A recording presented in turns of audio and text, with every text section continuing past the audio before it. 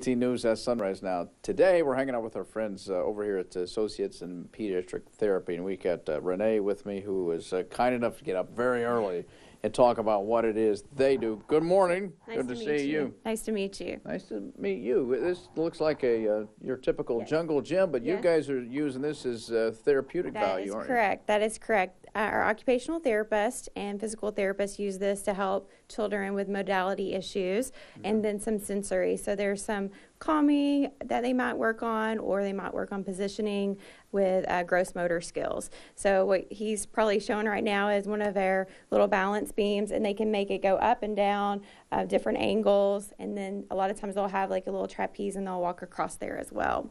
What kind of patients are you seeing? Is it kids that have, uh, as you mentioned, some Mm-hmm. issues, or is it due to injury, due to some sort of birth uh, defect? what happens? Actually, a little bit of everything there. We have children that have um, cerebral palsy, Down syndrome.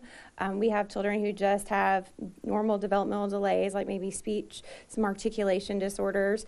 We see children that have had head injuries um, or strokes, unfortunately, um, lots of autism. So we work with a variety of different uh, disabilities. And, what ages would come to you guys? Mhm, Yep, we do zero to three in the home, Mm-hmm. so that's through first steps. But we also sometimes have them come into the clinic um, if they don't qualify or need extra services.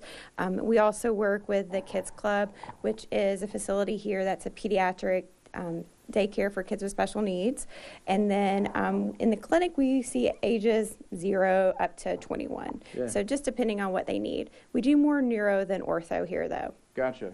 They even work with the parents too. I Yes, think. definitely. We'll talk more about that. And then they've got the best nap room, which I'm going to lobby for at Channel 18, guys, because you got to see this. It's Oh, fantastic. really? Ooh, I can't wait to see that. Let's get Because I know everybody on the sunrise shift would love to have a nap Oh room. my gosh, are And you it's kidding me? fantastic. Not gonna lie, I've taken a nap on the floor in the newsroom. I'm down for a nap room. I thought, wait, I know you've done the couch, but you've done the floor too? yeah, don't tell anybody. Oh, well, uh, it's a little late. Uh, 557, more than